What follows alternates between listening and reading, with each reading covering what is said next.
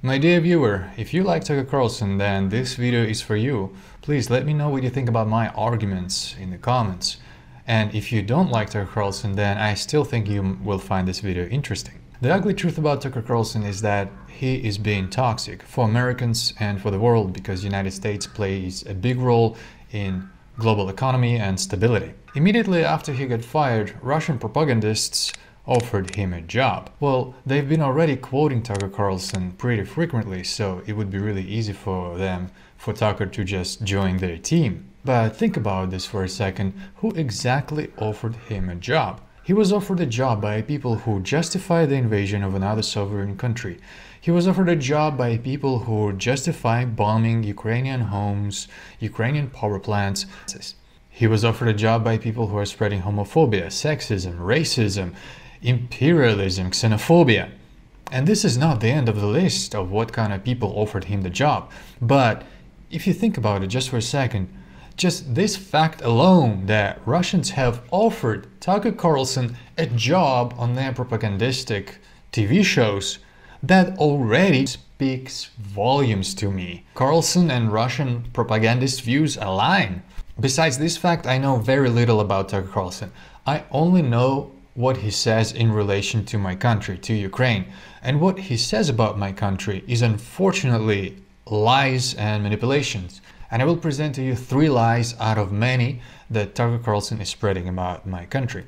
The first lie being that Tucker Carlson pushes an agenda that Ukraine is not a democracy, which to me, being a Ukrainian, sounds very weird. We had a presidential elections in 2019 and we had uh, parliament elections in 2020. We have on a five-year basis mayor elections and those elections are deemed fair and transparent by all the international observers and organizations. And while it's true Ukraine still has a lot of progress to make to be an open democracy like the Scandinavian countries are for example, but so does the United States too. On the index of democracy Ukraine is listed 86 and United States as 30. While Ukraine has problems, it's clearly a manipulation and a lie to say that Ukraine is not a democracy. To add to that, Tucker Carlson also says that Zelensky is a dictator. How many dictators do you know that have been in power for three years? I would understand if Zelensky would be in power for 20 years, but again, knowing nothing about Ukraine other than this fact, it's pretty hard pressed to call Zelensky a dictator being in power for just three years. The second lie about Ukraine that he's spreading is when Tucker Carlson says that Zelensky has sent soldiers to churches and that we have arrested priests for no justifiable reasons. He has sent soldiers into churches. Zelensky's secret police have raided monasteries across Ukraine, even a convent full of nuns and arrested dozens of priests for no justifiable reason whatsoever and in clear violation of the Ukrainian constitution, which no longer matters. Last week, he announced his plan to ban an entire religion, the Ukrainian Orthodox Church, and to seize its property, all for being insufficiently loyal to his regime. Well, Tucker Carlson is lying to you here and manipulating you. See, Ukraine has all the freedoms of religions upheld as per constitution. All the synagogues, mosques, Catholics, Orthodox, Protestants, the Mormon Church, you name it, they are all operating freely within Ukraine. What we banned was an organization that is calling itself Ukrainian Orthodox Church of Moscow Patriarchate, which is basically our enemies, Russia's influence within Ukraine. Tucker Carlson is misleading you and Tucker Carlson also doesn't tell you what those raids found and they found lots of evidence linking them directly to Russia. See, Tucker Carlson will also not tell you that in Soviet Union, religion, churches, priests were actually KGB agents used to influence and manipulate public's opinion and to keep everyone in check. And you can see how easy it is to do. People share with priests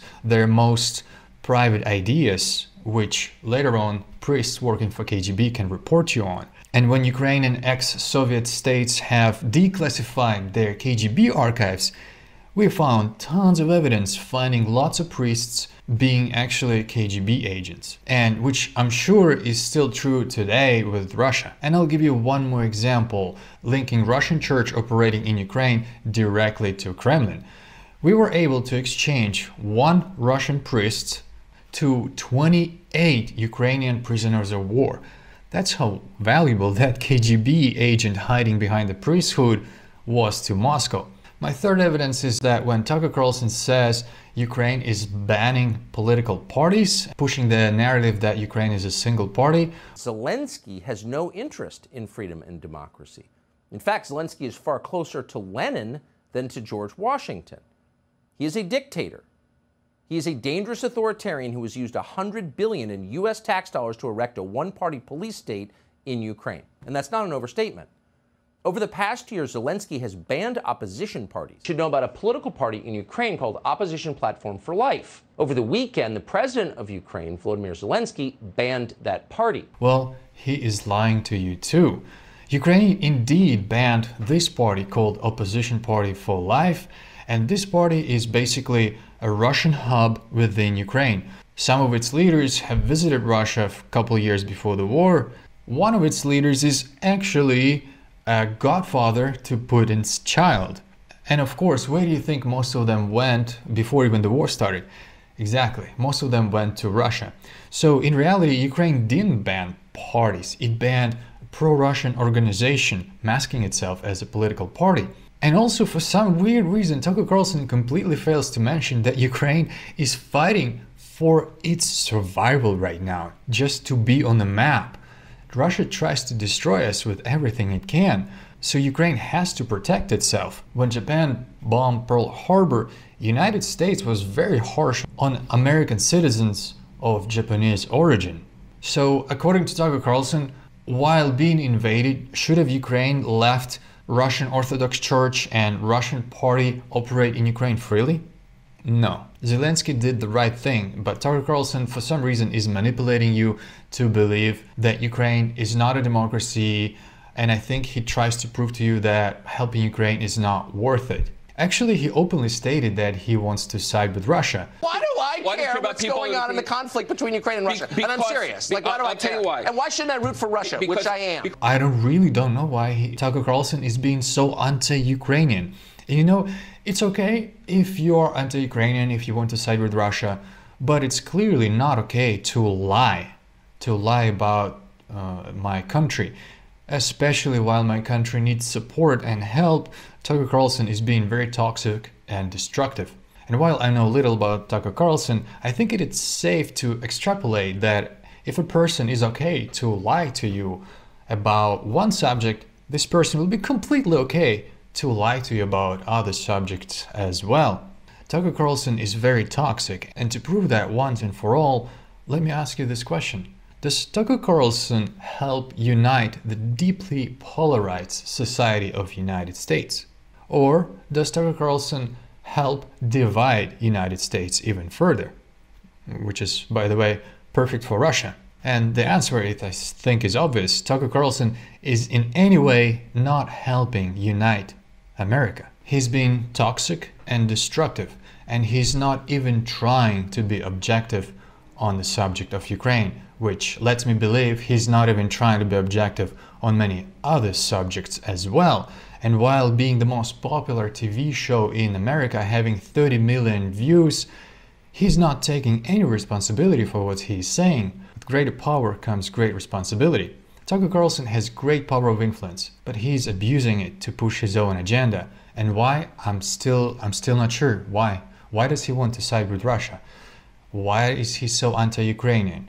Why is he lying about my country? Maybe you, my viewer, know the answers to that.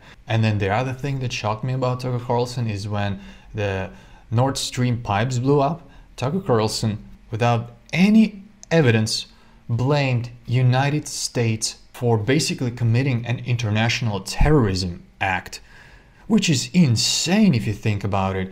Lastly, I would like to present to you a quote from Professor of History from Yale University, Tim Snyder. In his article, We Should Say It, Russia is Fascist, he says the following. If Russia wins in Ukraine, it won't be just the destruction of the democracy by force, though that is bad enough. It will be a demoralization for democracies everywhere, even before the war, Russia's friends, Marine Le Pen, Viktor Orban, Tucker Carlson, were the enemies of the democracy. And who would know about how democracies die more than a professor of history? I trust Timothy Snyder on this topic, and I want to express my deep respect to this American who said this directly to Tucker Carlson's face. Okay, dude, you are the worst human being known to mankind. I want you to know to this, to the United States, to everything else in this world.